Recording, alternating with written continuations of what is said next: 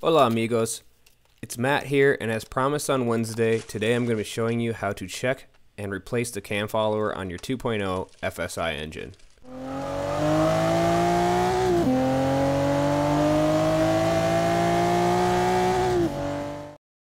If you've stumbled upon this video without watching my previous video, I'd recommend watching that one first.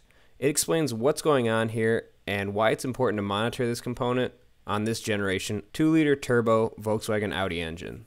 I'll link that up in the top of the screen right now. So as you can see, I'll be demonstrating this DIY on my Mark 6 Golf R. I do believe that this is one of the last production models to still have this style cam follower. A good check to know if you still have this flat cam follower opposed to the redesigned roller follower is to check how VW branded the engine. If it's an FSI, it has this style cam follower. They branded the new generations as both TSI and TFSI.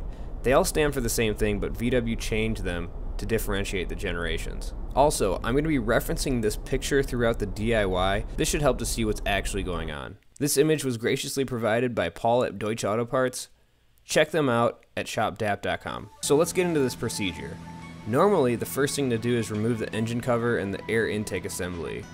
But as you can see, I have a CTS turbo intake without any covers, so mine's slightly easier, and I can already access the high pressure fuel pump. So right off the bat, I unplugged the two wiring harnesses going into the fuel pump. Because I don't have the stock air box or any of the covers, all I had to do is remove the air filter and the CTS filter box.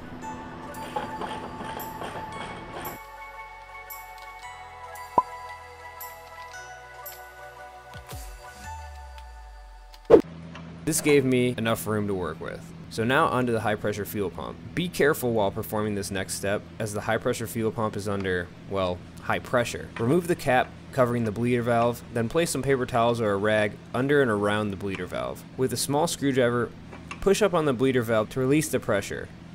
There will be a fair amount of fuel that comes out.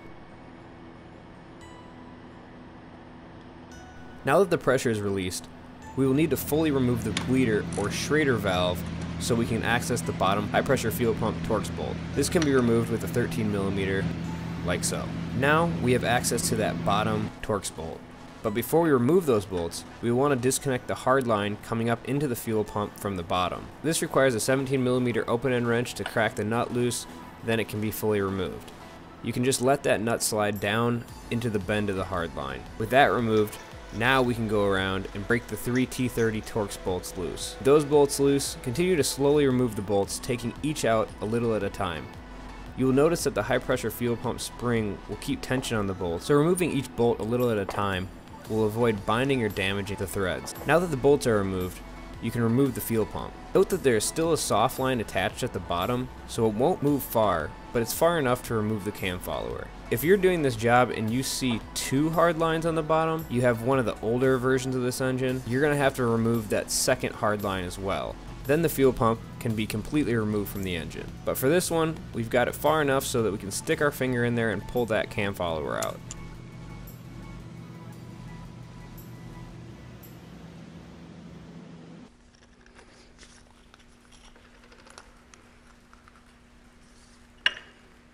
Comparing the old and new follower, it really doesn't look like there was too much wear, but since I had the new part, I reinstalled the new one. When you reinstall the new cam follower, you want to make sure that it's covered with engine oil to avoid the follower and cam lobe riding on each other dry. Similarly, if you are replacing the high pressure fuel pump O-ring, which is recommended, you should lube that up as well.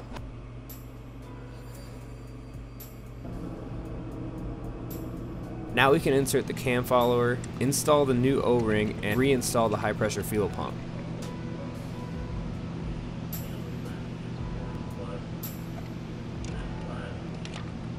I also purchased new Torx bolts as well, which after doing this job I thought may have been unnecessary, but they were only a buck a piece, so no harm done. Again, go around on each bolt and tighten them slowly.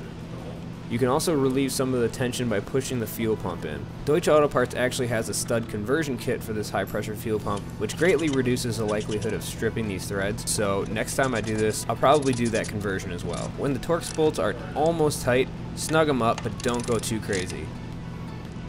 Now we can reinstall that hard line at the bottom of the pump. Get the nut started by hand first to know you're not cross-threading the nut, then tighten it up with a wrench. I actually noticed a slight bubbling through the threads a couple days after this install, so I ended up torquing it down harder. I guess we'll see if I cross-threaded the nut next time I check the follower. We can also reinstall the Schrader valve, snugging that up with the 13mm. Then screw on the cap. Plug in the wiring harnesses, and you're done. Cross your fingers and start your engines.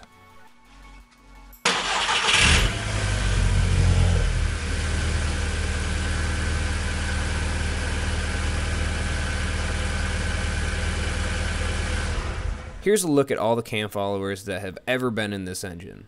Yes, I am that guy who saves all old parts. So this was the second follower, which had about 10,000 miles on it. This one was the original follower with 33,000 miles on it. Note that this was while the car was under warranty and had no modifications. This next one was the third follower, which had another 10,000 on it. And finally, the follower I just removed, which had um, 3,000 miles on it. Whoops. Anyway, thanks for watching and I hope this can help you check and replace your cam follower. If it did, give the video a like and share it with another FSI driver. If you have any questions, leave them in the comment section below. If you'd like more videos, subscribe to this YouTube channel and check out the Deutsche Auto Parts channel. Their channel also has a cam follower DIY and stud conversion, so check that out. I'll link that in the description. Thanks for watching, and I'll see you next week.